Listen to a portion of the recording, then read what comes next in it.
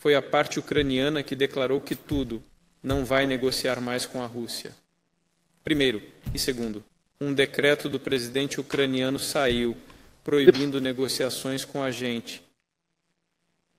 O decreto está em vigor.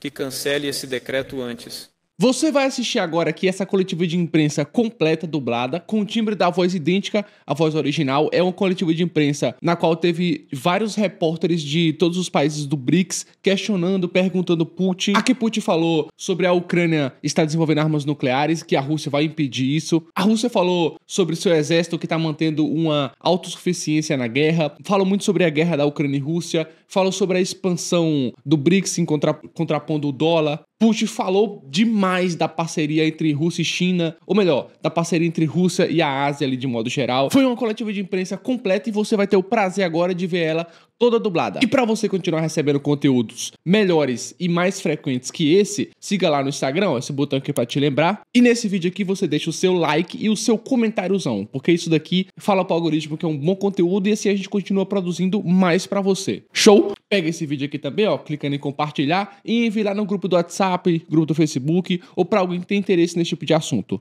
Maravilha? Fica agora com a coletiva e bora. Prezados. Oi, pessoal. Estou feliz em vê-los. Ver todos.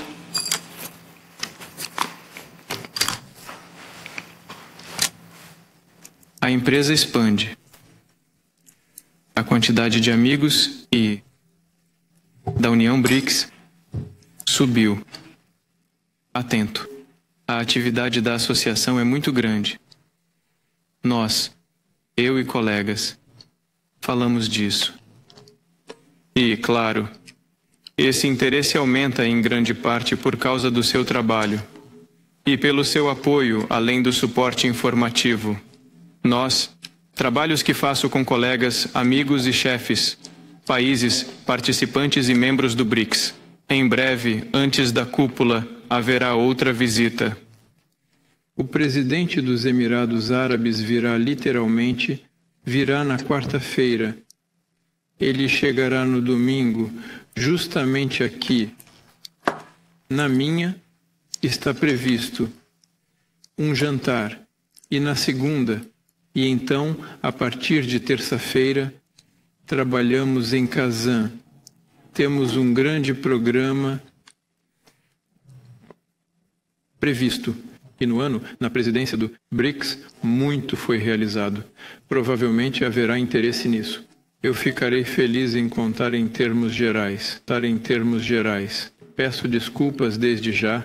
Contarei apenas em termos gerais, porque é um volume de informações.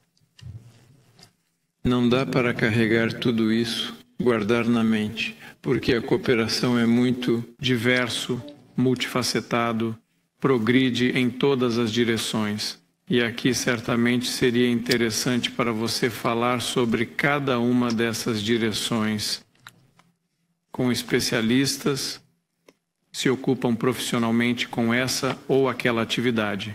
Bem, estou realmente contando que vocês terão essa oportunidade, inclusive, de vocês e de seus colegas, incluindo durante a cúpula dos BRICS em Kazan. Então, isso é tudo que eu queria dizer no começo. Para não tomar muito do seu tempo, passo a palavra a você e tentarei responder suas perguntas. Por favor, Vladimir Vladimirovich, somos profundamente gratos por você ter encontrado tempo para se encontrar conosco em sua agenda verdadeiramente sobre-humana. Mas essa tensão é evidenciada pelo fato de que, em quatro dias em Kazan, você terá não apenas a cúpula, não apenas uma grande coletiva de imprensa, mas também mais de duas dezenas de reuniões bilaterais a difícil de processar, mas de alguma forma, 17, aproximadamente duas dezenas de reuniões bilaterais. Esta reunião que estamos realizando agora é extremamente importante, não apenas para nós pessoalmente, mas para todo o planeta, pois aqui estão representados meios de comunicação cuja audiência total é de literalmente alguns bilhões de pessoas. E temos algumas perguntas importantes. Respostas que iremos transmitir para nossos espectadores, ouvintes e leitores. Eu quero fazer a primeira pergunta, talvez uma mais geral. O mundo está mudando a uma velocidade tão rápida que, às vezes, nem conseguimos acompanhar o quanto. Ele se tornou diferente. Quais são os sinais dessas mudanças e quais oportunidades elas oferecem para o BRICS? O mais crucial, o sinal é é a formação de novos centros de desenvolvimento e esse avanço, na opinião dos especialistas em quem confio e cujas opiniões valorizo, é de forma objetiva que ocorrerá principalmente nos países membros do BRICS.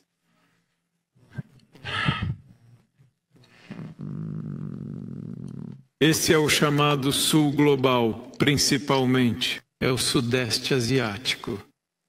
Estamos falando da África. Crescimento. Crescimento bom.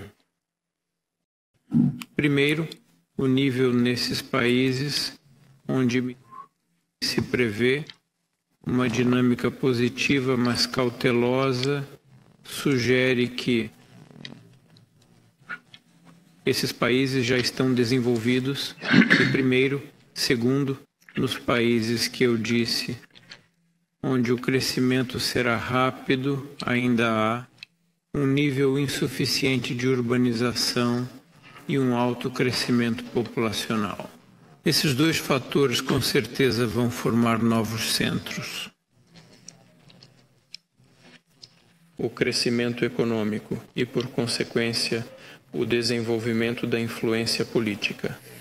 No que diz respeito a os integrantes do BRICS, como a China, a Índia, Brasil, África do Sul e a República Sul-Africana, então, certamente o crescimento do seu potencial econômico virá com o aumento de sua influência global. É uma verdade, fato é uma realidade objetiva. BRICS, pois meus colegas, parceiros e amigos já disseram isso muitas vezes. 45% da população do planeta e 33% da Terra. Uh, e isso aqui Estamos vendo um crescimento contínuo no comércio e no nível global de trocas. Eu falei agora diante do Conselho de Negócios.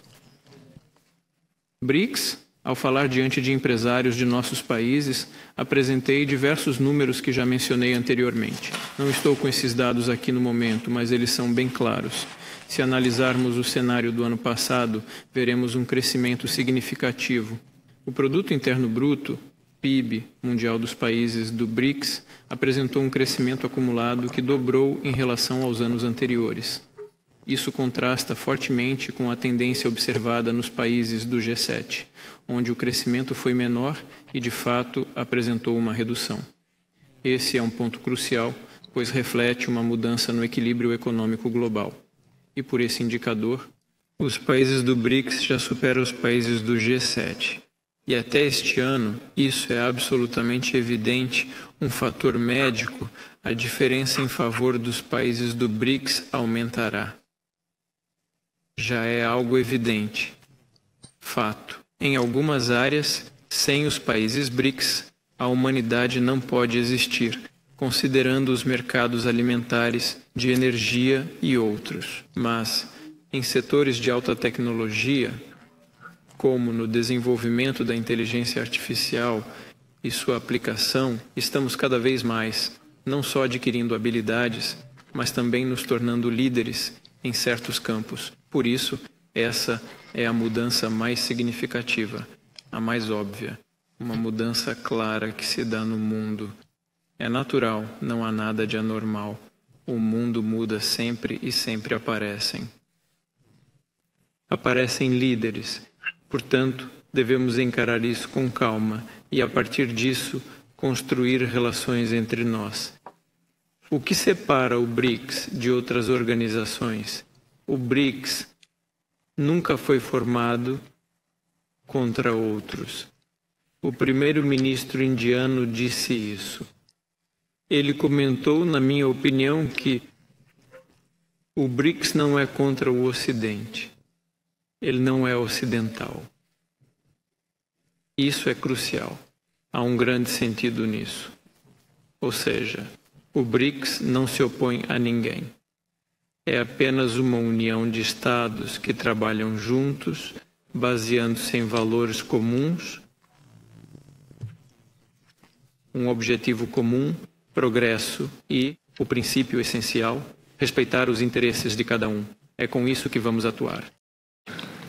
Muito obrigado, Vladimir Vladimirovich. De fato, os países BRICS representam 45% da população do planeta, mas se o BRICS não constitui a maioria mundial, certamente representa, porque muitos países, mesmo não sendo membros do BRICS, torcem pelo sucesso dessa união e compartilham valores. É com prazer que apresento meu colega da China, Fan Yun. Fan Yun é o editor-chefe da empresa CGTN e o vice-chefe da Corporação de Mídia da China, o respeitável Sr. Seng. E nós concedemos o direito entre nossos convidados de fazer a primeira pergunta, considerando suas relações pessoais com o presidente Xi Jinping e as relações especiais entre Rússia e China. Depois, vamos seguir no sentido horário. Por favor, Sr. Fan Yun.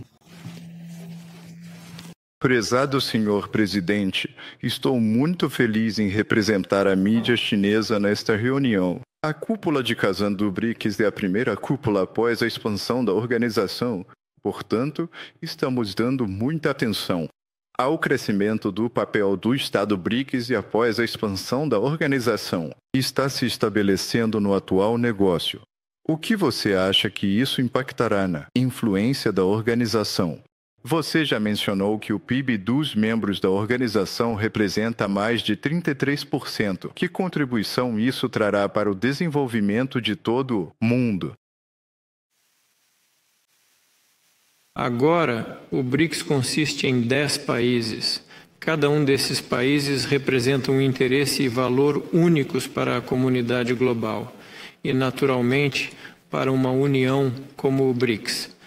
Cada país traz consigo sua própria cultura, história e vantagens estratégicas na divisão global do trabalho, contribuindo para a diversidade e a força desse bloco. A interação com esses países oferece benefícios amplos e oportunidades valiosas para todos os membros do BRICS.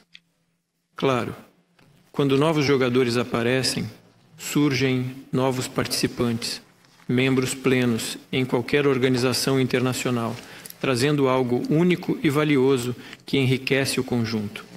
É importante que, por um lado, eles se integrem bem ao grupo e colaborem com seus próprios recursos, né, para que eles possam. Consideramos os princípios da criação do BRICS. Foi formado por três nações. O primeiro passo foi dado pela Rússia, Índia e China. Juntos realizamos isso. O BRICS nasceu em São Petersburgo, com a Rússia, Índia e China. Logo, tudo começou a crescer.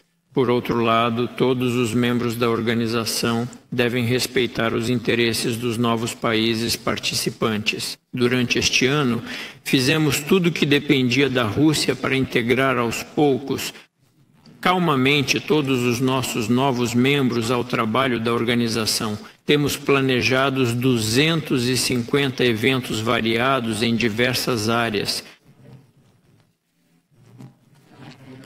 Já fizemos 200 eventos. Não foi por acaso que trouxemos novos membros, eles já eram relevantes. Países, pessoas que conhecíamos bem, com quem trabalhamos por muito tempo, mas agora quando deixamos de trabalhar, começamos a trabalhar juntos em uma organização. Então, claro, nós oferecíamos espaços tanto para a troca de ideias quanto para buscar possíveis projetos conjuntos em diversas áreas. Isso diz respeito principalmente à interação econômica, mas não apenas. Damos grande atenção ao desenvolvimento de conexões humanas e humanitárias nas áreas de cultura, cinematografia, intercâmbios juvenis e outras. Em todas essas áreas, trabalhamos intensamente ao longo de praticamente todo o ano e a prática mostra que estamos no caminho certo. A prática mostra que demos um bom e acertado passo do ponto de vista da expansão. Estou aqui. Estou absolutamente convencido de que, sem dúvida, isso será elevar o interesse na organização e seu impacto global e sua credibilidade. Vocês sabem, por trás de cada um desses novos países membros estão seus aliados mais próximos em uma ou outra área. Quando esse país se une à União, todos os países que trabalham com os novos membros da organização também ficam atentos o que acontece e querem colaborar. Eu já mencionei isso muitas vezes, que até hoje expressaram interesse em colaborar de alguma forma com o BRICS, se juntar às atividades da organização. Então, por isso esse efeito visível da adesão é apenas o começo de uma nova onda de crescimento. Mas aqui precisamos junto com todos os membros da organização, olhar com atenção para como lidar com a expansão. Com certeza, não iremos afastar ninguém. As portas estão abertas. Vamos discutir como estruturar esse trabalho com meus colegas e amigos em Kazan, quando nos encontrarmos para conversar sobre tudo isso. Bem, aqui está o que chamamos de maioria mundial. Com prazer, Passo a palavra ao meu colega da Sky News Arábia, Nadim Katevich, um dos jornalistas mais conhecidos do mundo árabe, autor e apresentador do programa semanal Hoje à Noite com Nadim. Ou seja, meus absolutos colegas. Então, por favor, Nadim, sua pergunta.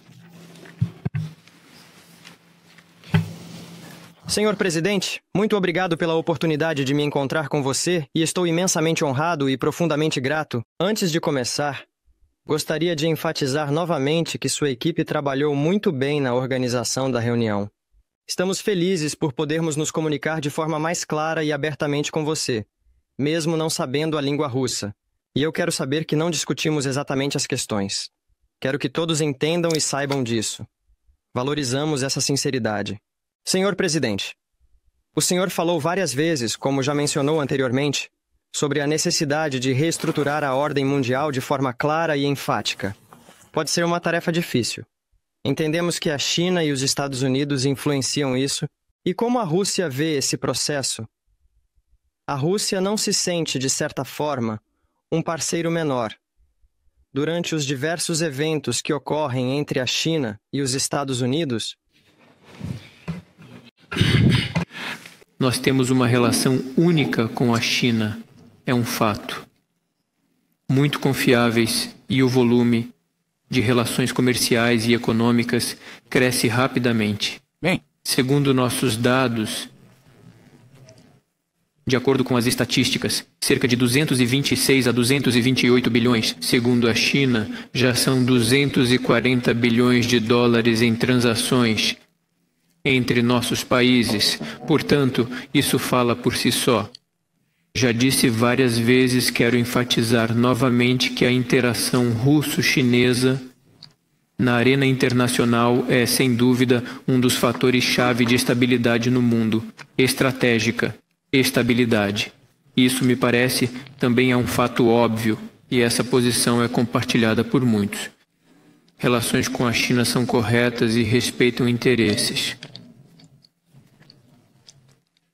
Hoje, a maior economia do mundo, em paridade de poder de compra, não por habitante, mas por paridade de poder de compra, é a China. Mas isso é apenas estatística, você entende? Os Estados Unidos estão em segundo lugar. Sim, por habitante. Nos Estados Unidos é muito maior, claro. Está em constante expansão e fortalecimento. Além disso, é relevante ressaltar que a Rússia ocupa atualmente a quarta posição entre os maiores parceiros comerciais da China, um fator de enorme importância para ambos. No final, isso reflete sobre eles, inclusive no dólar. O mundo todo se pergunta se vale a pena usar o dólar. Se os Estados Unidos limitam o dólar como moeda internacional por motivos políticos, isso pode levar países a buscarem outras alternativas, afetando a economia global e o equilíbrio de poder entre nações. E o volume de uso do dólar está diminuindo lentamente, mas gradualmente, tanto em transações quanto em reservas. Até os aliados tradicionais dos Estados Unidos estão reduzindo suas reservas em dólares. E com a China, o que ocorre? Também uma sanção após outra. E isso não é por política, mas pelo crescimento da China. E diante da tentativa de conter seu crescimento através de uma série de sanções políticas, permita-me dizer algo os Estados Unidos estão 15 anos atrasados.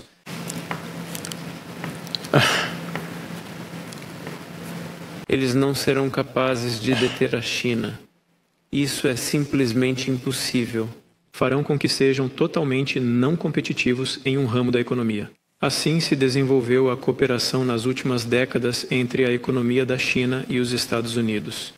Elas estão interligadas. Todos sabem. Mas as ações que observamos hoje por parte dos Estados Unidos parecem ser contraproducentes. Mas isso também está relacionado à política de segurança.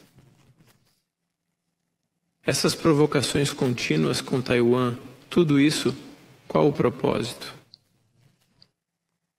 Eu frequentemente me pergunto, quando vejo ações provocativas em uma ou outra região do mundo, não entendo o porquê. Agora, na verdade, a NATO está sendo puxada e os europeus estão sendo puxados para lá, para a Ásia, através da NATO. Ninguém se preocupa em consultar os europeus, aliás, eles mesmos não querem comprometer suas relações com a China. No entanto, o Ocidente está se movendo para expandir a influência da OTAN na Ásia, o que gera uma situação preocupante para os países dessa região, incluindo a China. Assim como em outros casos, como já disse, não interferimos entre a Etiópia e o Egito, mas sem dúvida partimos do princípio de que a China é nosso parceiro e aliado estratégico. Obrigado. Vladimir Vladimirovich, quero apresentar a vocês um colunista mundialmente conhecido em política internacional, política árabe internacional, que representa o jornal Arab News, Faisal Abbas. Por favor, Faisal. Sua Excelência, Presidente, permita-me agradecer pela oportunidade honrosa de conversar com o senhor sobre diversas questões que são muito importantes na arena internacional.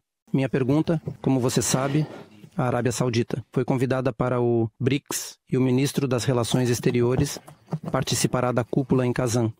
Como você já deve estar ciente, senhor presidente, bem como o príncipe herdeiro, estiveram extremamente ocupados desde o mês de outubro do ano passado. Estava ocupado com a resolução de questões no Oriente Médio e a solução do problema de dois estados na Palestina, e Moscovo sempre apoiou essa solução, a solução de dois estados. O que podemos esperar em relação aos resultados para exercer pressão, implementar um cessar-fogo que está ocorrendo hoje no Oriente Médio, considerando o fator de que há um consenso total entre todos os membros do BRICS sobre a necessidade de implementar soluções de dois estados para a questão palestina. Atualmente, ao mencionarmos cessar-fogo, estamos nos referindo principalmente ao setor de Gaza. Nossa posição é bem conhecida eu não acho que possa trazer algo novo. Sempre partimos do princípio de que a resolução do Conselho de Segurança deve ser implementada. A decisão do Conselho de Segurança sobre a criação de dois Estados,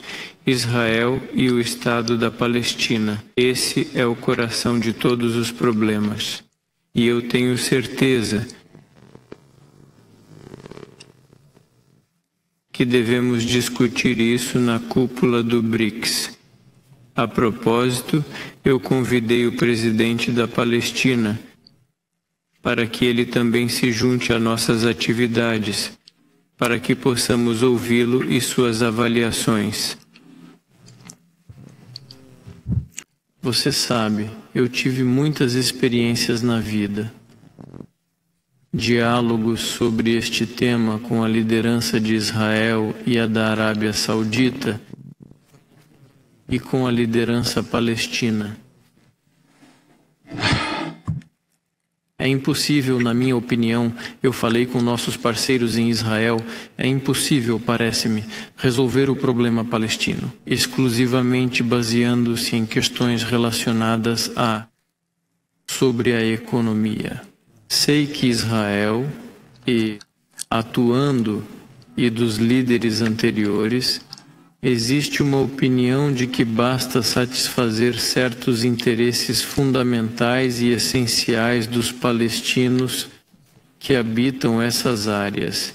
E a pergunta se encerra. Creio que, além do de aspecto material, também há perguntas sobre a dimensão espiritual, conectadas à história e aos desejos de vários povos que vivem em determinadas áreas. E aqui a questão é muito mais profunda e complexa. É preciso trabalhar nessa área, primeiro. Segundo, é necessário, claro, atuar dentro de um amplo consenso. Não quero acusar os Estados Unidos de tudo neste momento, mas foi um erro eles terem destruído a quatro não, é verdade, mas não quero ficar sempre criticando e dizendo que eles são culpados por tudo. Provavelmente não é assim. Mas foi um erro. A 4 funcionava, facilitava o alinhamento, mas eles monopolizaram o trabalho e assumiram toda a responsabilidade, mas no final não funcionou, falharam. Acredito que é hora de voltar, talvez até ampliar o quarteto. Precisamos discutir como recuperar essas áreas e trazer de volta os que partiram. Os palestinos não sairão. Essa é a terra deles. Isso é importante. Quanto mais questões humanitárias surgirem, mais pessoas estarão dispostas a lutar por seus interesses. Aliás, muitos em Israel também entendem isso e muitos compartilham essa visão que estou apresentando agora. Eu tenho contatos e posso receber informações de quem pensa assim em Israel. Estamos em contato.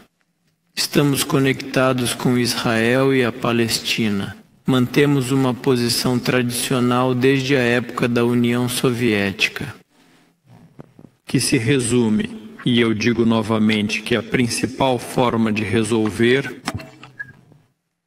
do problema palestino é criar um, um Estado. Muito obrigado. O próximo presidente do grupo da empresa Secungelo, Dr. Iqbal Turbi, é um dos líderes mais influentes da África.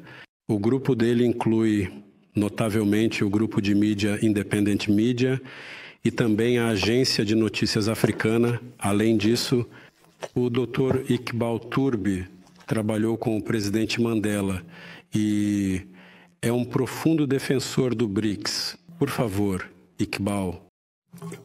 Sua Excelência e ilustre senhor presidente, em primeiro lugar e com grande satisfação, parabenizo pela realização da cúpula com sucesso.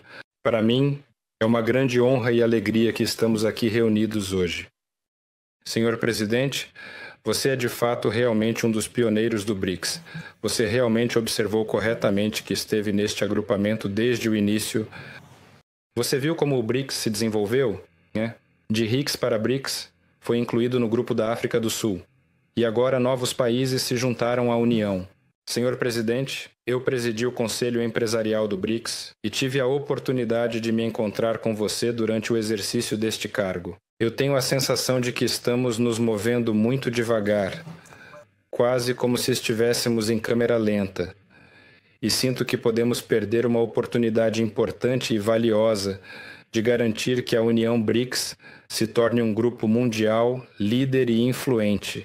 Minha pergunta é direcionada a você diretamente.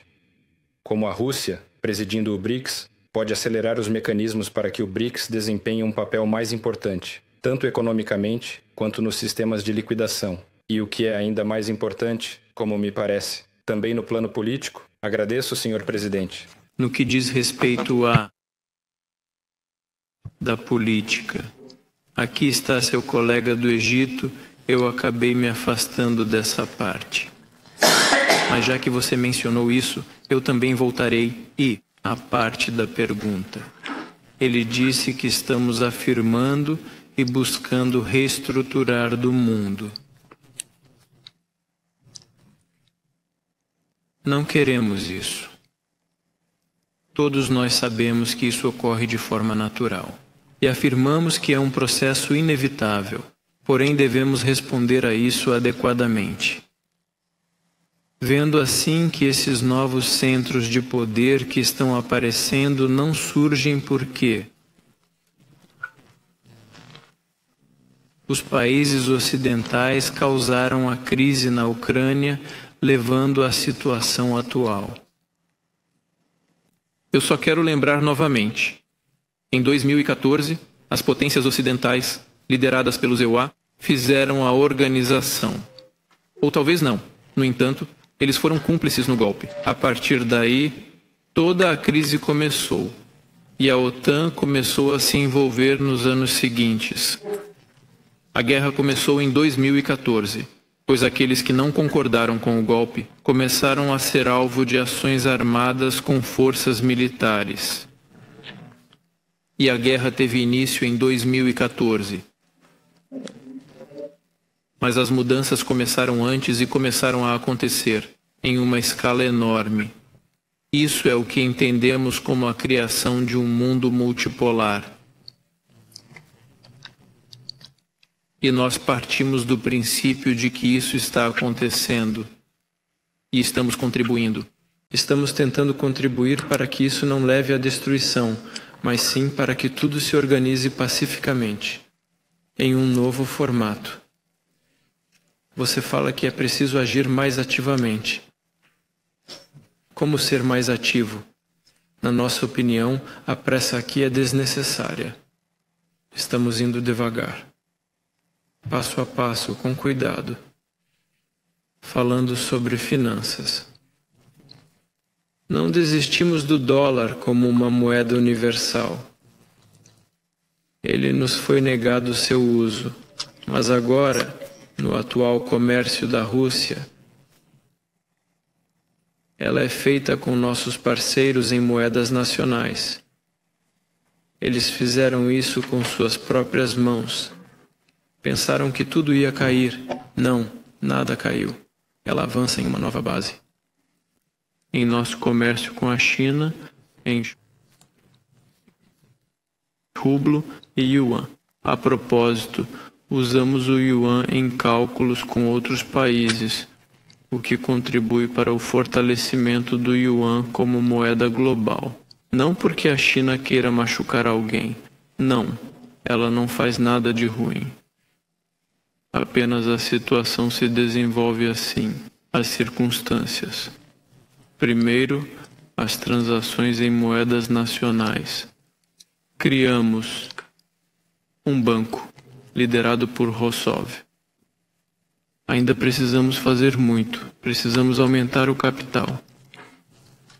Agora não vou listar tudo, nos encontramos algumas vezes. A senhora Rossov é uma boa especialista, entende tudo.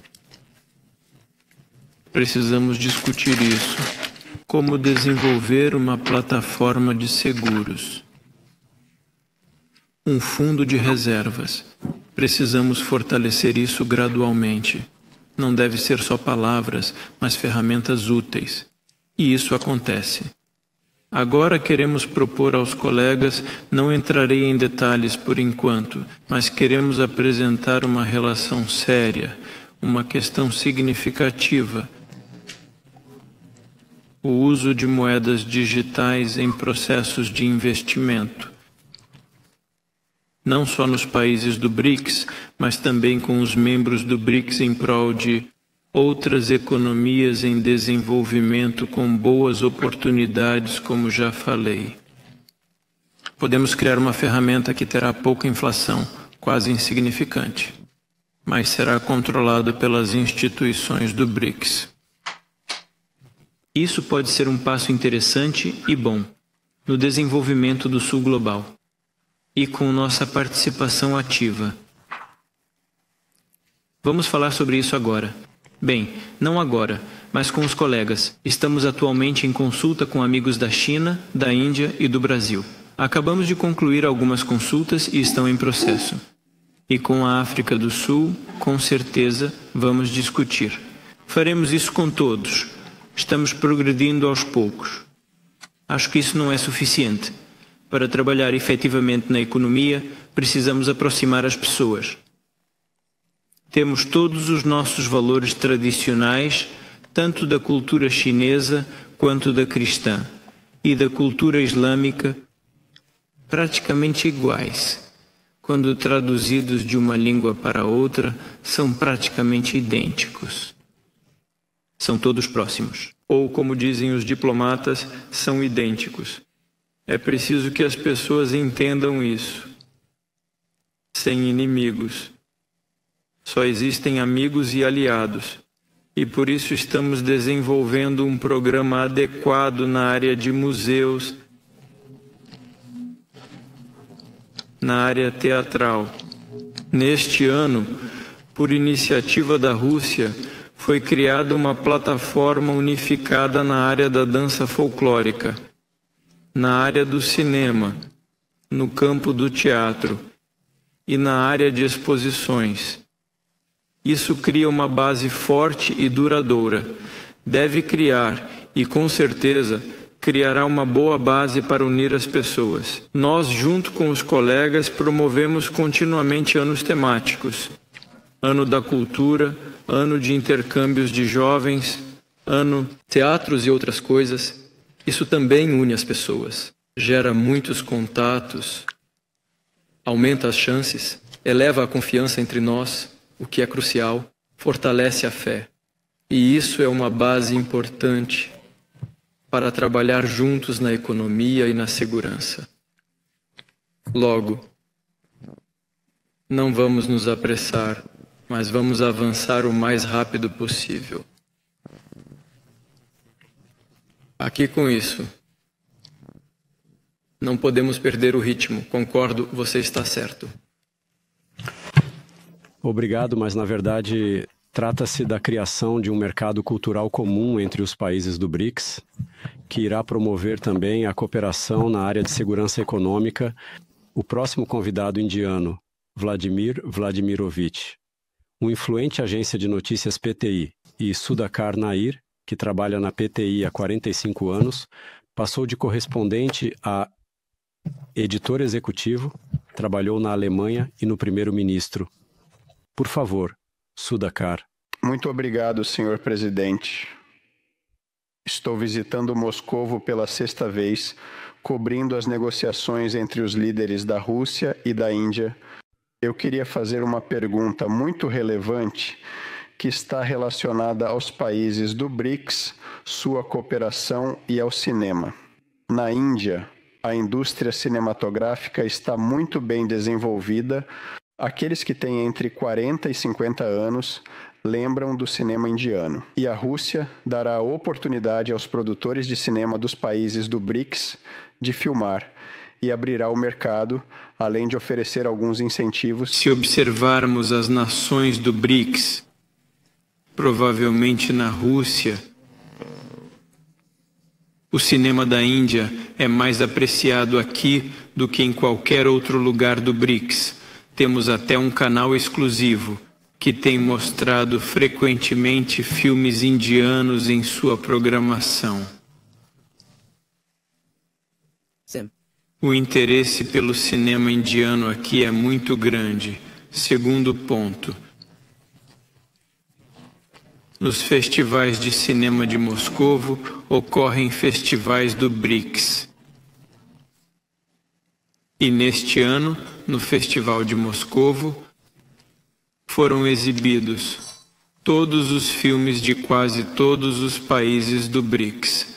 Acredito que a vitória foi para diretores da Arábia Saudita, Egito e um terceiro país que já esqueci, mas a Jordânia. Sauditas, egípcios e jordanianos. O filme de três diretores dessas nações ganhou. Sobre a questão econômica. Itens da indústria cinematográfica como outros produtos parte do mercado que precisa ser devidamente regulada. Na Índia, muitas medidas foram adotadas para proteger seu mercado.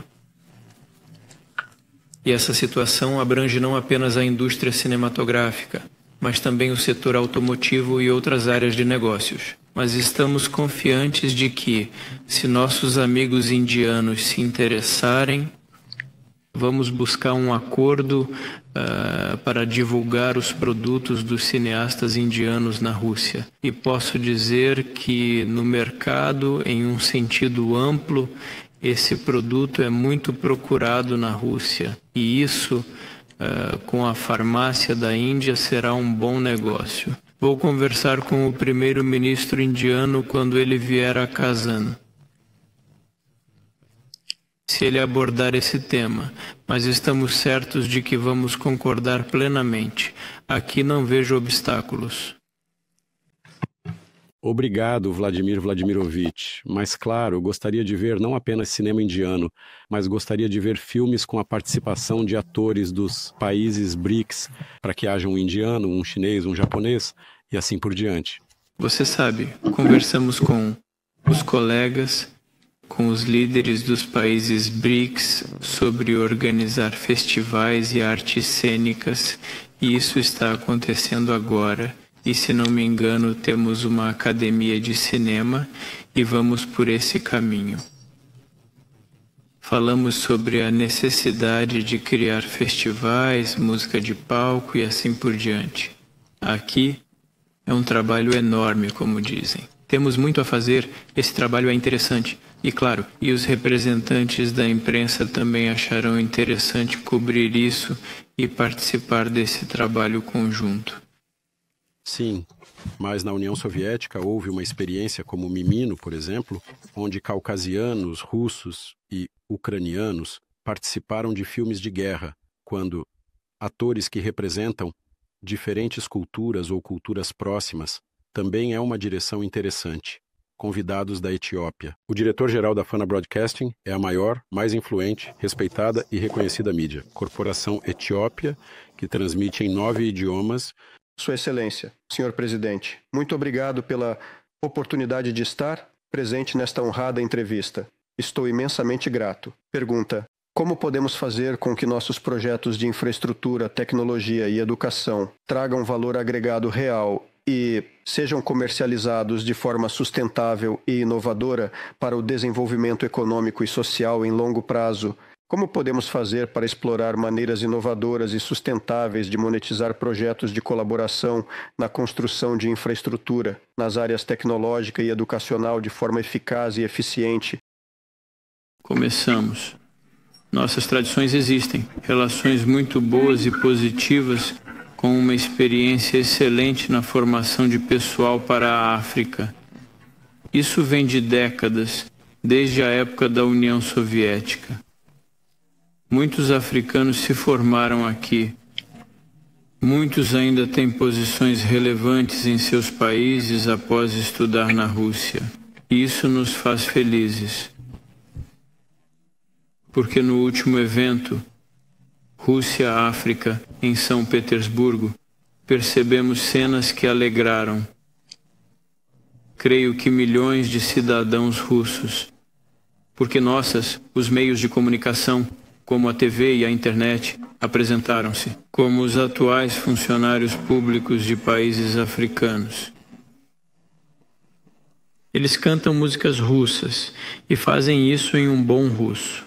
E sem dúvida é muito. Um grande potencial de interação, cooperação, educação obtido em um país ou outro na língua do país anfitrião. Nós seguimos com essa prática. Agora tenho medo de errar os números, mas praticamente não com todos os países africanos, mas com muitos. E isso se refere também à Etiópia. A segunda parte da sua pergunta que você mencionou, quase primeiro, é importante, é infraestrutura. Temos muitos projetos nessa área, no desenvolvimento de infraestrutura.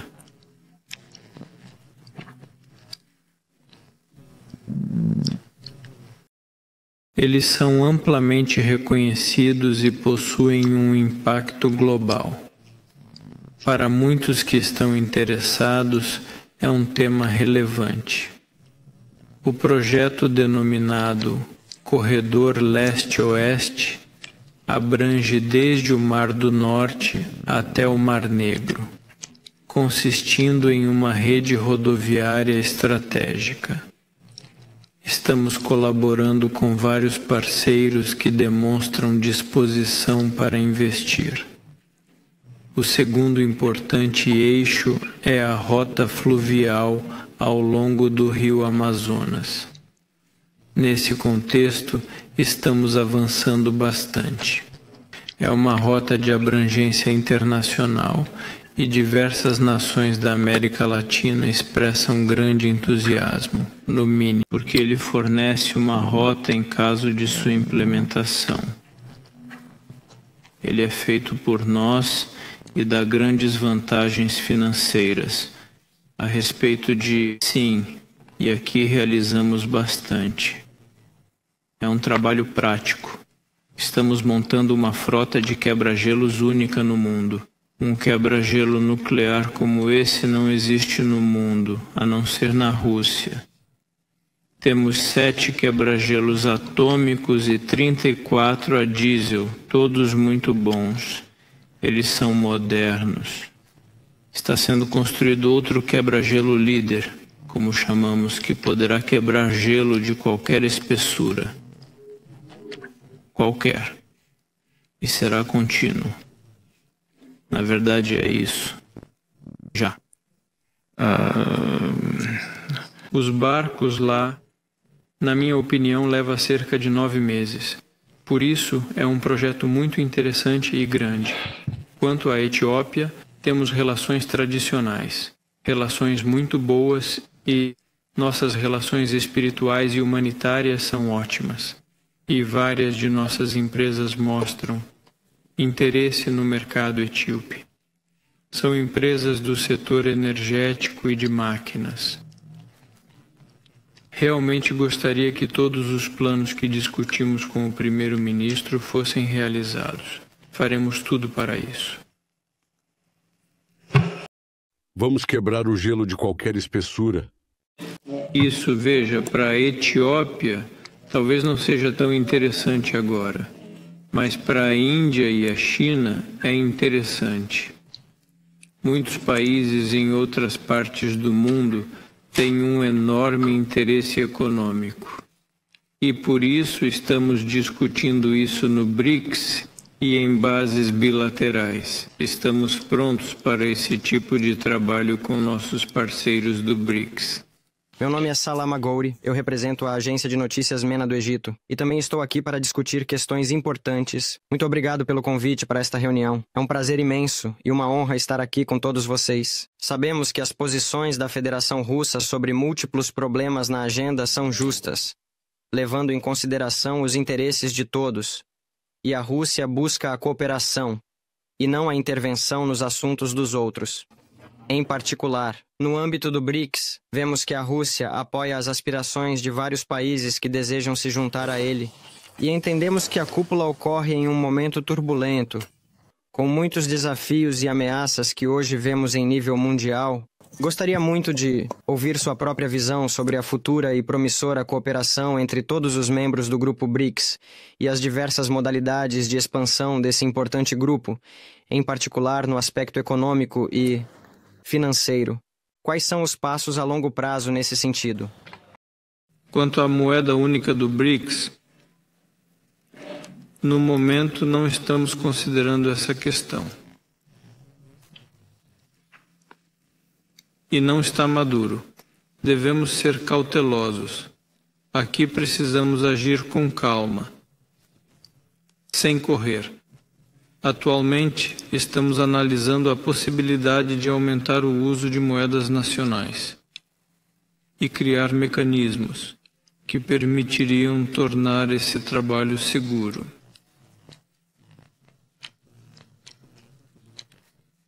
Como já mencionei, estamos considerando agora o uso de ferramentas eletrônicas. É necessário que esse trabalho avance para criar laços entre os bancos centrais e garantir a troca de dados financeiros, que será independente dos mecanismos internacionais de troca de informações financeiras muitas vezes impondo restrições por motivos políticos e violando os princípios da economia global. Vamos expandir as atividades do pool de moedas e fortalecer o novo banco dos BRICS. Seguiremos essas direções. Para discutir a criação de uma moeda única, é necessário um alto nível de integração econômica.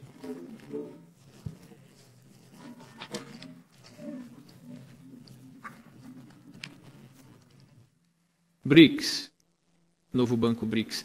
Assim vamos avançar nessas direções. Para falar sobre a criação de uma moeda única, é essencial alcançar um alto nível de integração econômica. Não basta somente ter uma forte integração econômica, também é necessário que haja comparabilidade em termos de qualidade e eficiência.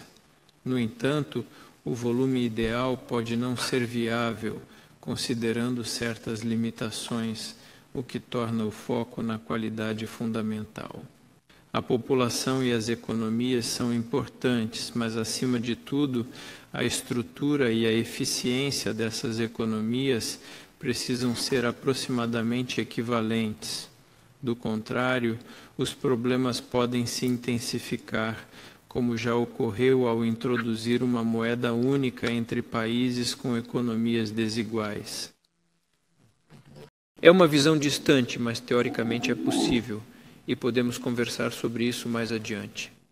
Agora, sobre a expansão. Neste momento, uma onda de expansão passou expansão BRICS. E, evidentemente, não é por acaso que surgiram perguntas dos colegas sobre o que estamos fazendo para adaptar novos membros da organização ao trabalho em conjunto. Isso também requer um certo tempo. Embora tenhamos trabalhado e colaborado juntos por um longo período, ainda é preciso fazer um esforço dentro da mesma organização. Eu já disse que o interesse pelo trabalho do BRICS e pela participação está crescendo. 30 países expressaram seu desejo de trabalhar com o BRICS. Assim, estou com os colegas Falarei sobre isso com nossos amigos em Kazan e com os líderes dos países. BRICS. Estamos elaborando uma nova categoria de parceiros do BRICS. E o primeiro passo será organizar esse trabalho. Mas para nós, para a Rússia, são antes de tudo os países da SEI, os países da União Econômica da Eurásia, mas também de outras regiões teremos prazer em convidar e colaborar com esses países. Isso é o primeiro. O segundo é consenso. E seremos cuidadosos nesse aspecto, seguindo dois princípios.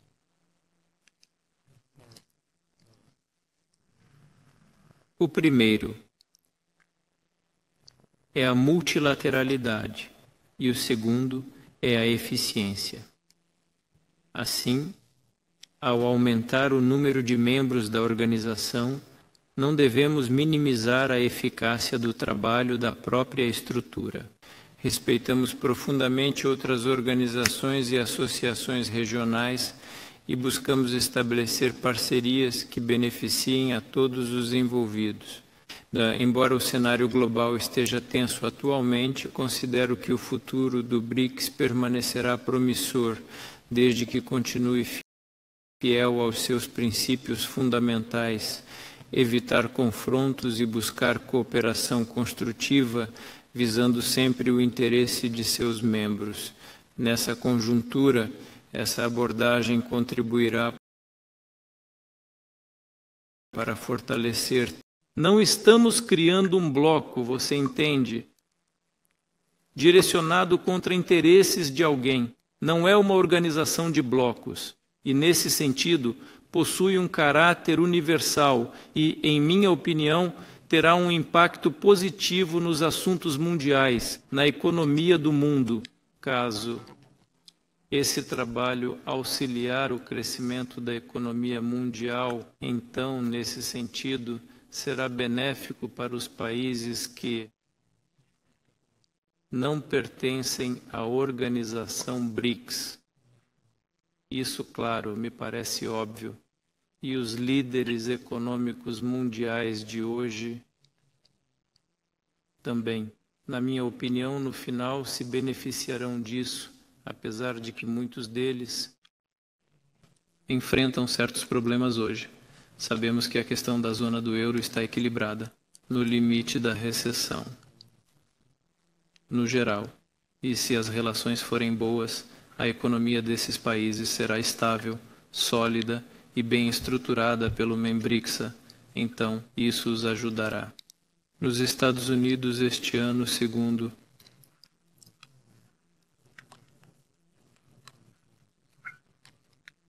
cresceram após a pandemia 5,7%, depois caíram para 2,5%. Este ano será melhor, mais de 3%.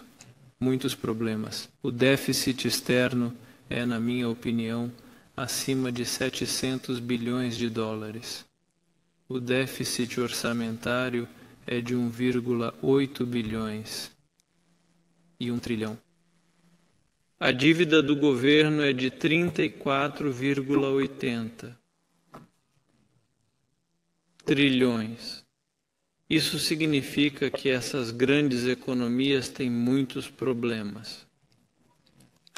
E relações normais com os países do BRICS são importantes. Penso que isso será bom para a economia global. Senhor presidente, muito obrigado por esta oportunidade valiosa e significativa. Em primeiro lugar, quero dizer que me lembro claramente de Kazan. Fui lá em 2018 de férias e tive uma ótima impressão disso. Mas falo justamente sobre Kazan porque vocês estão se preparando tão cuidadosamente para a importante cúpula e nós no Brasil também estamos nos preparando para outra cúpula, a saber, a cúpula do G20, que ocorrerá em novembro. Eu, me lembro, eu tinha uma mulher assim, o governo do Brasil gentilmente convidou você a participar da importante cúpula dos líderes do G20, mas o sistema de justiça no país é independente e crucial e dizem alguns que será necessário cumprir a determinação da Corte Penal Internacional relacionada a um mandado de sua prisão. Nesse sentido, tenho três perguntas separadas. Você planeja vir para a cúpula no Rio de Janeiro em novembro e, considerando o que foi dito, você acredita que a situação que mencionei mostra, de forma clara, em sua opinião, a fraqueza do BRICS em comparação com os antigos organizadores, como a CPI? E, com todo respeito, você tem medo de ser preso no Brasil de maneira significativa ou não? Primeiro, eu quero falar que o Tribunal Penal Internacional não tem um significado universal é uma das entidades internacionais cuja jurisdição a Rússia não reconhece, assim como muitos outros países do mundo. Os EUA também não reconhecem. Não reconhecem, e a China também não, mas a Turquia sim. Então, o que? Existe uma organização assim. Na verdade, se tal organização independente existe, pode ser que isso não seja tão ruim mas é necessário que ela seja universal. Isso é o primeiro. Segundo, decisões desse tipo são muito fáceis de contornar. É super fácil. Basta assinar um acordo intergovernamental e pronto, a jurisdição do Tribunal Penal Internacional será limitada. Se nossas relações com o Brasil seguirem confiáveis e estáveis por anos, teremos um forte vínculo duradouro. Podemos firmar um acordo governamental e ninguém enfrentará consequências. Estamos em uma situação difícil, o assunto está encerrado. Agora, sobre a independência, não gostaria de agravar nada aqui, mas mesmo assim, é sabido que o Tribunal Penal Internacional declarou que pretende decidir sobre algumas figuras políticas do Oriente Médio e então foi pressionado pelos Estados Unidos. E ficou calado. Então, onde está, portanto, o respeito por essa organização, que não é universal nem independente? É, infelizmente, pouco e fica fora do radar. E, finalmente, o essencial Primeiro, fizemos muito trabalho. A situação é difícil. A crise na Ucrânia ainda está longe do fim. E o principal, compreendemos que basicamente o G20 é um bom fórum. Ele é útil. Se, claro, não for politizado, se não houver tentativas de politização, mas ele foi criado e foi criado recentemente como uma plataforma econômica. Assim, se isso avançar, assim será útil. Mas sabemos o que ocorre em torno da Rússia. E eu compreendo. Tenho uma boa relação com o presidente Lula. Por que eu iria, especialmente lá, para atrapalhar o funcionamento normal deste fórum? Nós entendemos bem e eu entendo que isso não é nada além disso. As conversas serão apenas sobre isso. Vamos prejudicar o trabalho do G20. Por quê? Nós somos adultos. Então vamos encontrar quem represente nosso país no Brasil de forma digna. Você mencionou a crise ucraniana. Literalmente ontem, durante a cúpula da União Europeia em Bruxelas, o presidente Zelensky, que está com o mandato expirado, afirmou que a única alternativa à adesão da Ucrânia à NATO seria a aquisição de armas nucleares e de forma coordenada. Saiu na publicação alemã Bild uma entrevista com um certo técnico ucraniano anônimo que disse que a Ucrânia precisa de apenas algumas breves semanas para criar sua arma nuclear e depois atacar as tropas russas. O que tudo isso realmente significa? Isso é uma provocação. Armas nucleares são fáceis de fazer hoje. Não sei se a Ucrânia consegue, é complicado para a Ucrânia atual. Mas em geral não existem grandes complicações, é fácil. Trata-se de uma provocação arriscada. Porque qualquer ação nesse sentido terá uma reação correspondente. Isso é o segundo e o mais importante. Isso é sobre o fato de que a liderança política da Ucrânia de hoje já mencionou isso várias vezes antes da crise se intensificar.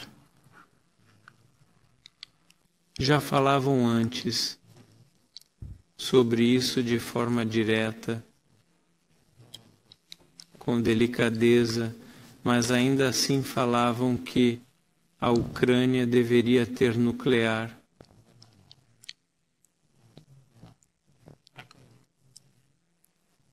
Essa ameaça trará uma reação na Rússia, com certeza. Digo logo, a Rússia não aceitará isso de jeito nenhum. E se acontecer que a Ucrânia possa receber essas armas nucleares, digamos, dos ingleses, e depois eles disserem: olha, eles mesmos fizeram, queriam, então fizeram. Aqui, como você sabe, não existe o subjuntivo. Vamos parar de adivinhar.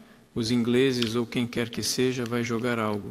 Isso é complicado de esconder. É necessário ter o fundo certo e as ações adequadas. É impossível esconder como esconder um alfinete em um saco. E estamos em condições de acompanhar qualquer movimento aqui. Eu gostaria de continuar um pouco mais detalhada e complexa a discussão sobre a situação de crise na Ucrânia. Como todos sabem, a amizade é estreita entre Riad e Moscovo. E entre Riad e Kiev também há amizade.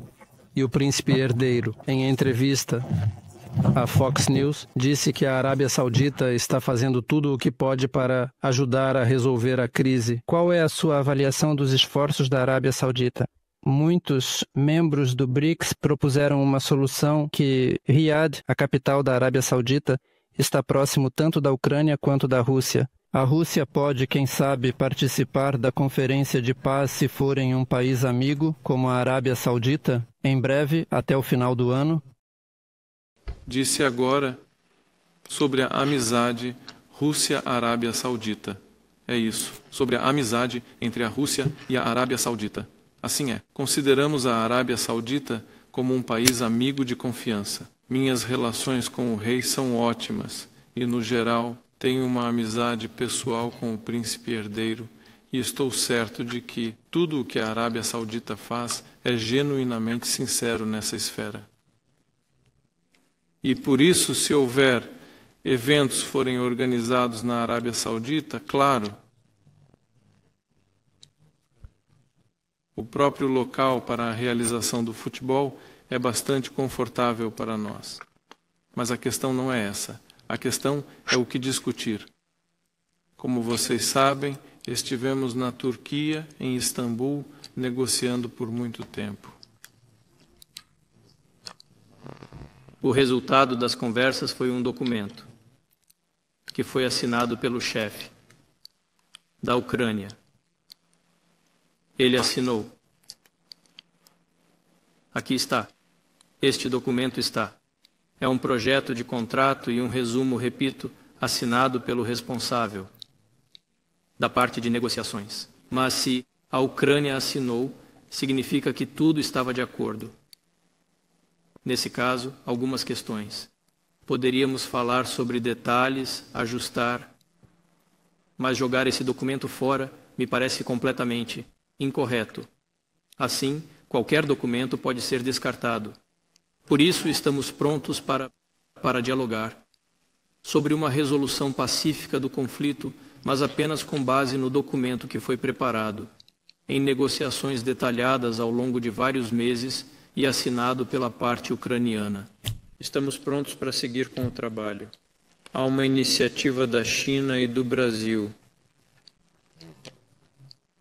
que lidam com as questões de forma cuidadosa e objetiva. E um grupo correspondente foi criado em Nova York. Estamos observando isso com atenção e respeito. Já sabemos que nossos amigos, incluindo membros do BRICS, estão determinados a encerrar este conflito o mais rápido possível e por meios pacíficos. Foi a parte ucraniana que declarou que tudo, não vai negociar mais com a Rússia. Primeiro.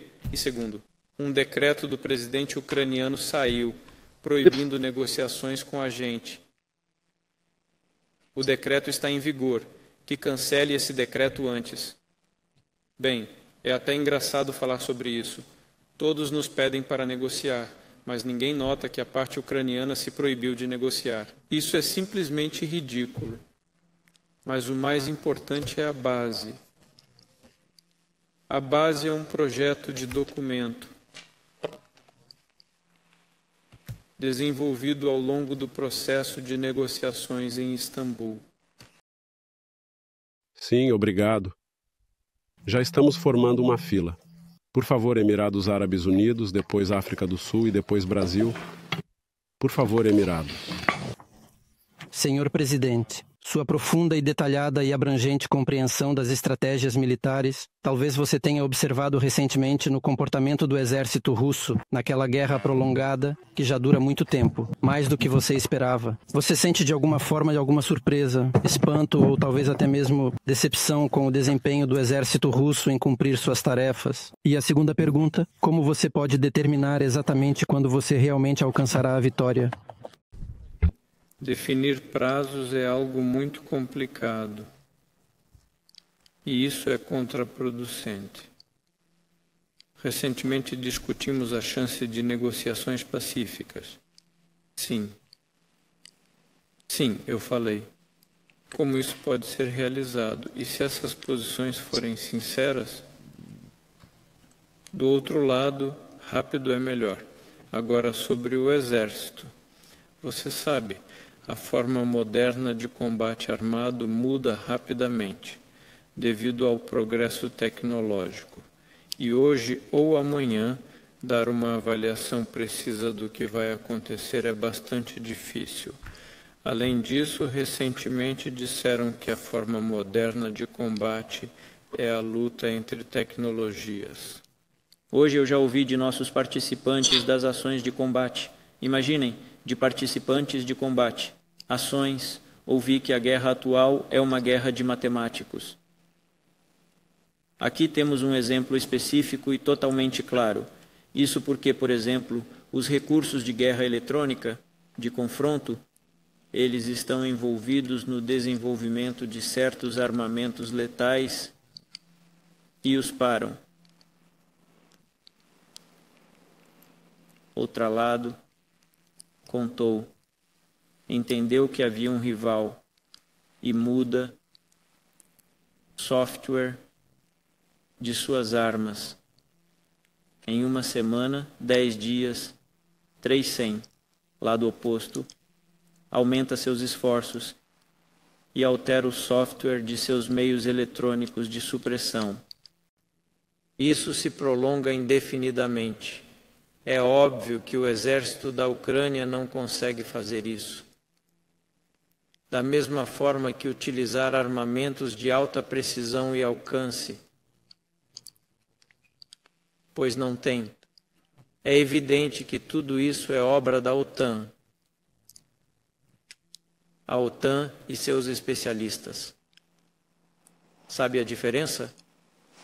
Logo, a OTAN combate conosco mas com os soldados ucranianos.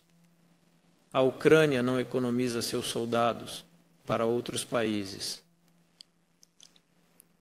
Porém, a Ucrânia não emprega armamentos tecnológicos. Isso é feito pela OTAN.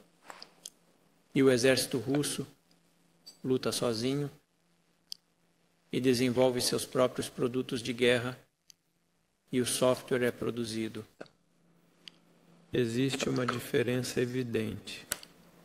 Nos últimos dias, vemos que estamos cada vez mais fortes, tanto em tecnologia quanto em influência. Sem dúvida, estamos no caminho de nos tornarmos uma das potências mais preparadas e sólidas. E quando os que se opõem perceberem o desafio de nos enfrentar, estaremos prontos para continuar. No final, sabemos que venceremos.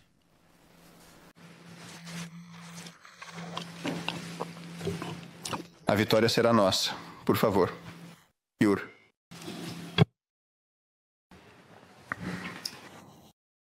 Muito obrigado, senhor presidente. Quando eu ouço algumas perguntas e comentários que você faz muito é realmente muito bom que eu esteja na cidade do Cabo, no extremo sul do continente africano, longe de todos esses processos. Mas ainda assim eu me pergunto se o momento de Mandela é absolutamente necessário para o mundo moderno. De fato. E, por exemplo, o BRICS, durante o seu líder e sob a sua liderança, pode apresentar ao mundo um momento como o de Mandela, porque toda guerra termina, em paz Esta é uma condição obrigatória, de maneira contínua e ininterrupta ao longo de toda a longa e complexa história, e precisamos encontrar um caminho para essa paz, de forma clara e precisa, e muitas vezes o caminho para a paz não é simples, porque nem sempre é óbvio. Além disso, tudo se complica com as tecnologias nos conflitos modernos, porque, assim, elas impactam de forma significativa todas as pessoas. Mas eu tenho uma pergunta contraditória, senhor presidente. Por um lado, eu acredito que você é um defensor da paz e deseja a paz, e o povo russo deseja a paz, e no Oriente Médio todos desejam a paz, e em outras partes do mundo todos desejam a paz. Mas antes de começarmos a reunião de hoje e chegarmos aqui, o ministro das Relações Exteriores da Turquia se encontrou com seus colegas, principalmente do Oriente Médio, e fez algumas declarações.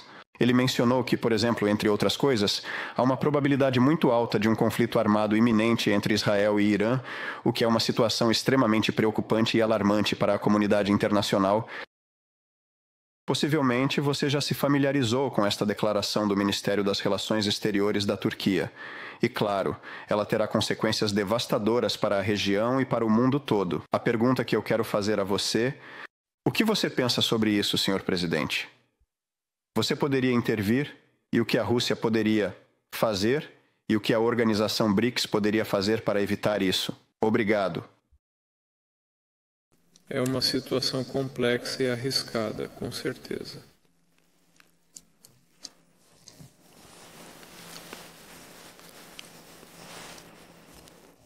Eu estava conversando com seu colega sobre o que está acontecendo na trilha ucraniana e disse que a OTAN está em guerra conosco com os soldados ucranianos que usam equipamentos nazistas.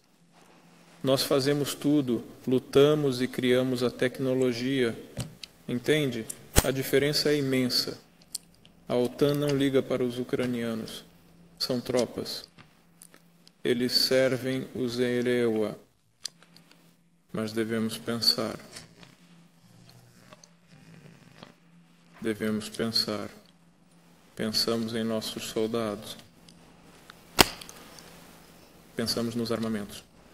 Sobre nossos soldados, pensamos em como proporcionar paz, até por meios pacíficos. A diferença é essa. Aqui é uma grande diferença. Não emitimos decretos ou ordens para proibir negociações.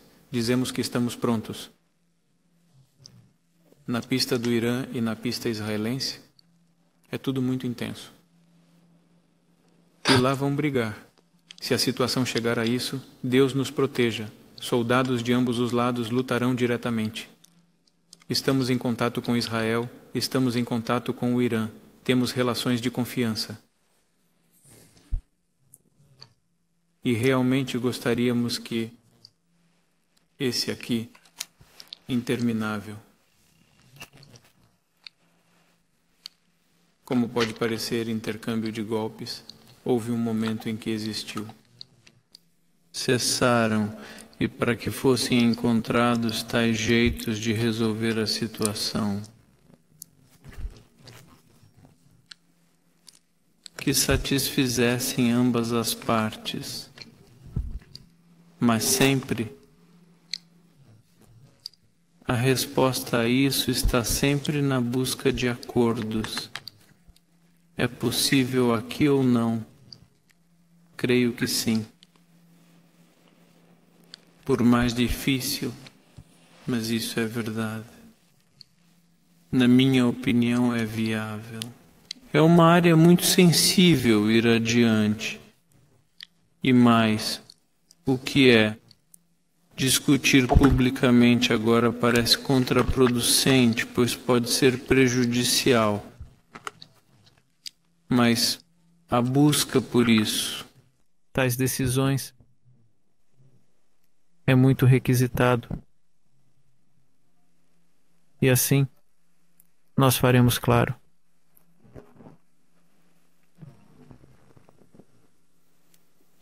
Nações se importam com a situação, mas estamos, para participar de boa fé, cientes dos interesses de ambos os lados. Sobre o Irã, temos uma aliança com o Irã e somos bastante sensíveis ao que acontece naquele país. Percebemos que mortes estão ocorrendo em diferentes setores. Em diferentes áreas. E a seguir, ouçam sobre como comentar os eventos que ocorreram no Irã, principalmente esses ataques feitos por Israel. Qual seria a forma mais adequada de comentar sobre esses acontecimentos?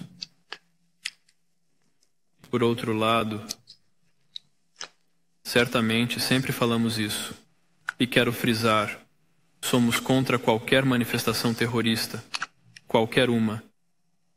Inclusive contra Israel e seus cidadãos, não podemos esquecer.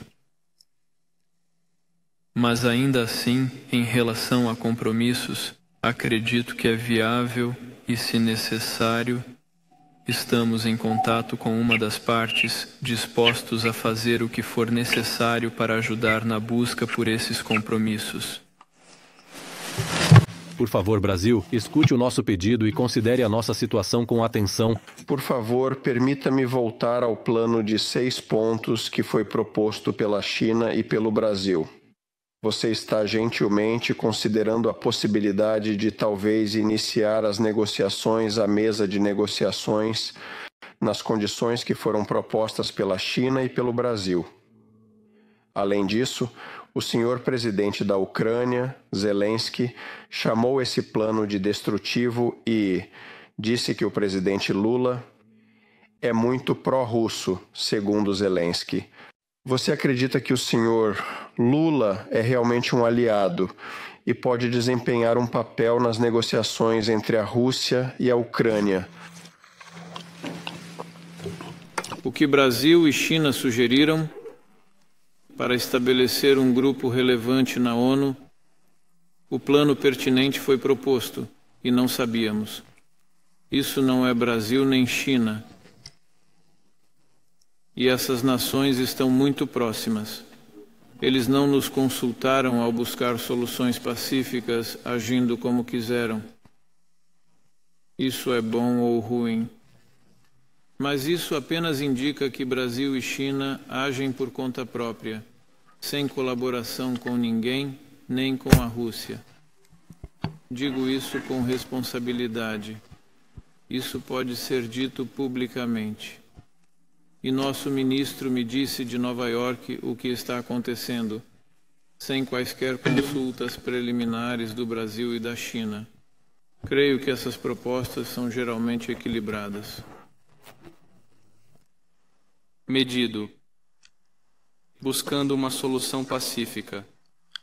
Se alguém não aprecia, é assim mesmo. Está sendo deles. Olhar. Eu falei isso.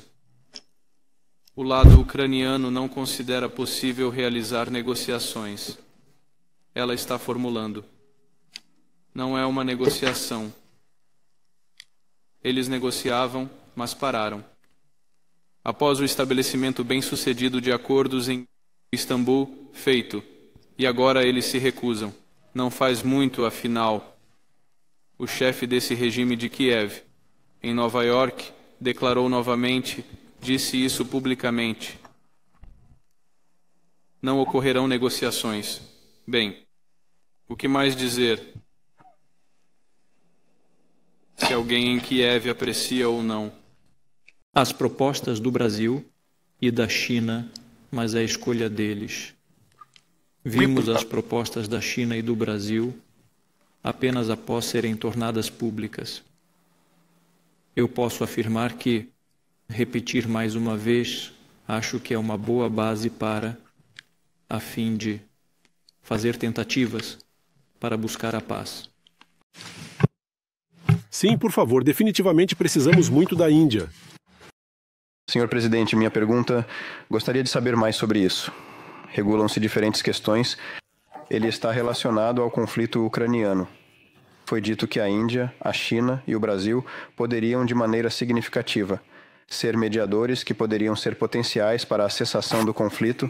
Nosso primeiro-ministro, Narendra Modi, está se comunicando com você, com o presidente do ZEUA e com o presidente da Ucrânia. O que você acha quão exatamente realista é essa possibilidade de mediação em um futuro próximo? Você sabe, Agora há pouco, seu colega fez uma pergunta sobre os eventos e tensões na relação iraniano-israelense. Eu respondi que se algo depende da Rússia e se nossa mediocridade é requisitada, teremos prazer em trabalhar com nossos colegas. O mesmo se aplica aos nossos amigos em quem confiamos. Quero dizer, neste caso, o primeiro-ministro, Sr. Modi. Grato. Sei que ele faz perguntas em nossas conversas. ele expressa suas ideias sobre o assunto. Agradecemos e acolhemos. Grato. Mas já estamos, por assim dizer, começando a encerrar. Por favor, Emirados Nadim.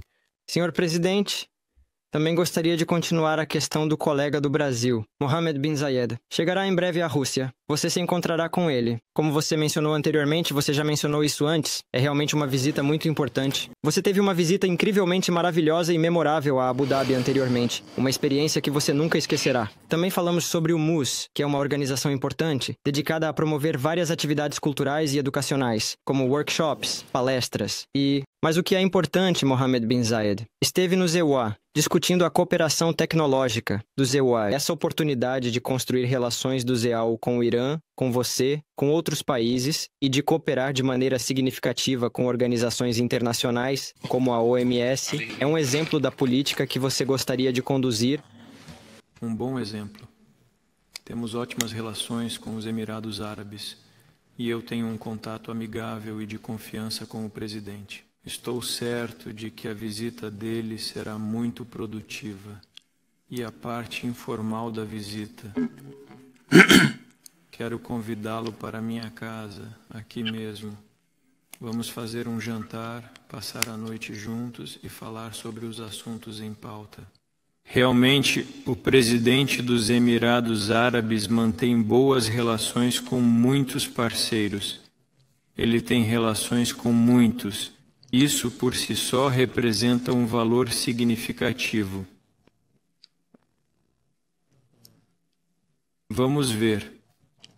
Nós também. Sobre a Arábia. Não menos tem nos ajudado, inclusive nas transações de terras domésticas com os Emirados Árabes Unidos, com os quais temos contato próximo. Nossos laços estão se desenvolvendo. É claro que não é tanto quanto era com a China, mas as tendências são promissoras. Em segundo lugar, nosso fundo de investimento está funcionando bem. E essas são apenas questões específicas das relações entre os países. Mas em relação ao Oriente Médio, estamos ouvindo a voz do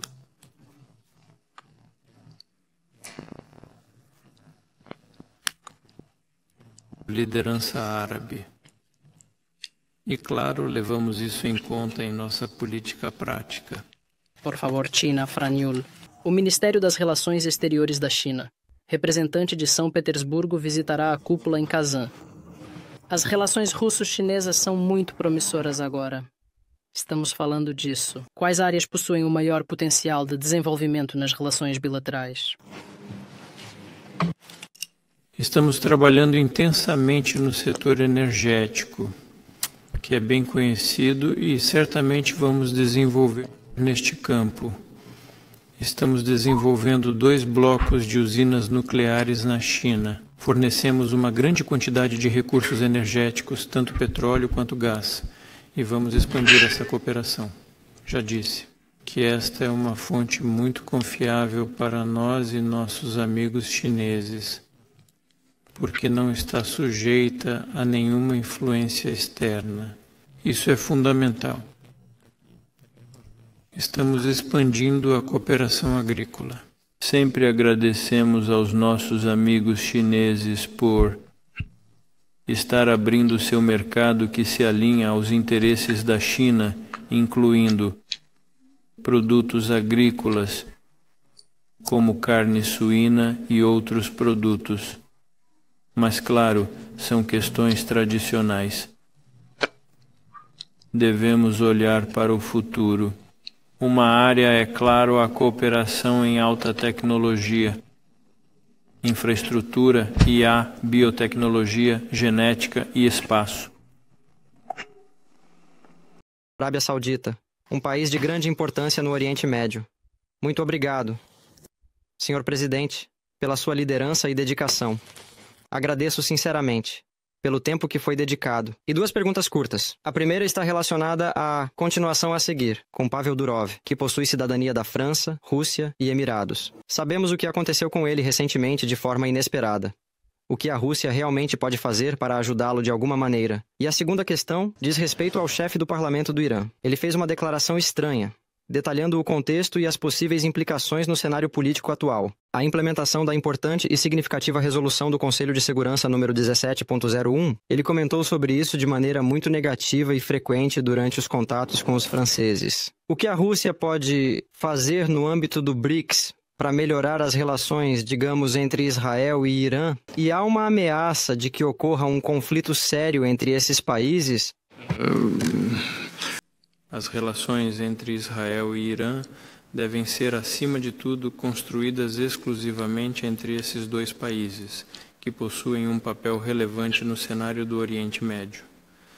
Não é nossa função intervir nas dinâmicas de dois governos respeitados, que têm suas próprias realidades e interesses.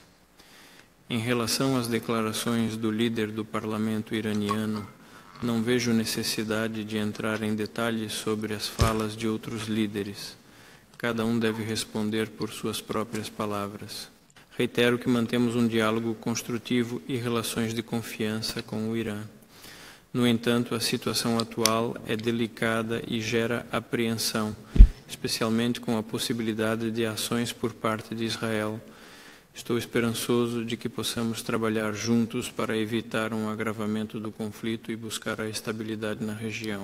O avanço deste conflito, e ainda repito mais uma vez, estamos prontos para fazer tudo o que podemos, se for possível, se, se a nossa participação for vista para que tudo ocorra bem e para que na área de gás que tudo termine em um acordo e cessem esses ataques terríveis para alvos civis e que a situação no sul do Líbano que normalize para que os ataques de um lado e do outro cessem e que a paz volte a essa área também.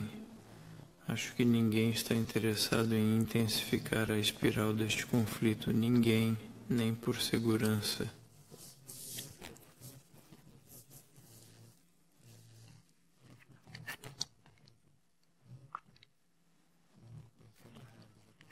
Por razões econômicas, há uma oportunidade de encontrar uma solução. No entanto, a realização disso depende, claro, dos países envolvidos e da sua disposição para negociar. Egito, depois Rússia e provavelmente já estaremos encerrando. Por favor, Egito, querido e muito estimado senhor presidente, eu estou extremamente grato por este convite. Gostaria de falar sobre as relações entre a Rússia e o Egito, que ultimamente estão se desenvolvendo de forma muito ativa e intensa. E suas relações com o Sr. Adel Fattah al-Sisi contribuem de maneira significativa para isso.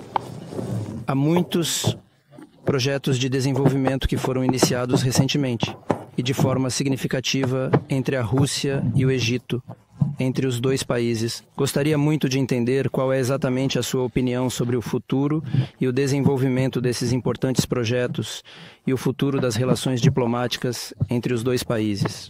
Muito obrigado. Relações amistosas e calorosas com o Egito durante décadas. E é muito bom notar que, nos últimos anos, graças ao presidente Noal SSI, essas relações estão se firmando. Estamos observando um crescimento no comércio. Estamos focados em grandes projetos, mas é suficiente dizer que nós, isso é sabido, construímos uma usina nuclear, tudo vai bem e creio que todos esses planos vão acontecer. Precisamos avançar mais ativamente sobre a zona industrial, sobre a qual já discutimos há muito tempo e estamos dando passos pequenos. Hoje, ao cumprimentar a comunidade de negócios do BRICS, o presidente egípcio também falou sobre as zonas industriais. Na região do Canal de Suez, estamos avançando com iniciativas concretas no campo da engenharia. Nossos projetos de longo prazo são promissores e contarão com investimentos robustos, focando no desenvolvimento da cooperação industrial, o que é fundamental. Manteremos nossa parceria na área humanitária, incluindo a capacitação de profissionais. Além disso, pretendemos intensificar a cooperação em segurança, especialmente nas áreas de trabalho conjunto e colaboração técnico-militar. Acredito que essa colaboração e a harmonização de nossas posturas no cenário internacional são essenciais, especialmente no que diz respeito à segurança regional. Vladimir Vladimirovich, realmente a entonação no Ocidente mudou em relação à Ucrânia. Se antes se falava sobre a vitória obrigatória da Ucrânia, sobre a resolução de tudo no campo de batalha, agora discute-se ativamente a troca de territórios para a entrada dos restos da Ucrânia na OTAN. O que você acha dessa ideia?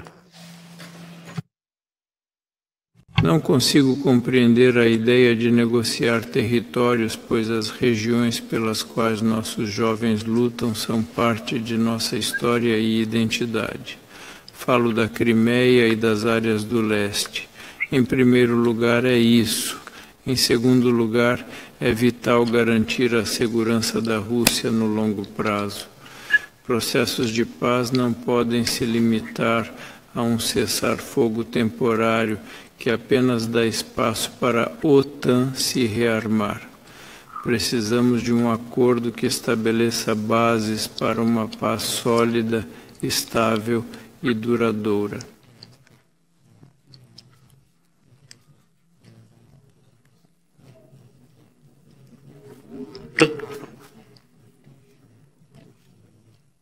Proporcionamos segurança igual a todos que participam desse processo. E é exatamente isso que devemos buscar. O que alguém disse sobre a necessidade de derrotar a Rússia estrategicamente garantir a vitória sobre a Rússia no campo de batalha, eles já entenderam que isso não é possível, é irreal e alteraram seu ponto de vista. Certo, fizeram bem, eu os elogio. Muito obrigado, Vladimir Vladimirovich. Quero agradecer pela organização da reunião de hoje. Quero agradecer a todos os colegas. Quero agradecer a todos pela colaboração no trabalho de hoje e pelo interesse no BRICS. A organização possui boas perspectivas seguras. Repetindo, essa certeza baseia-se no fato de que temos valores comuns, realmente comuns, e uma compreensão mútua sobre como devemos criar laços entre nós. E se países como Índia, China, Rússia, Egito e Arábia Saudita, Emirados Árabes Unidos e todos os outros países participantes do BRICS, que já são dez, e aqueles que, que mostram interesse no BRICS, que já são 30 e haverá mais, todos seguirão esses princípios.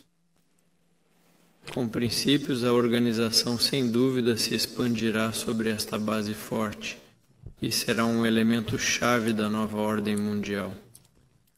Multilateral, confiável em termos de segurança e desenvolvimento para todos os povos envolvidos nesta organização. Obrigado pelo trabalho conjunto e expresso a esperança de que não será a última vez que nos encontramos. Espero que seus representantes ou você mesmo trabalhem em Kazan. E faremos o possível para que o trabalho ocorra no mais alto padrão.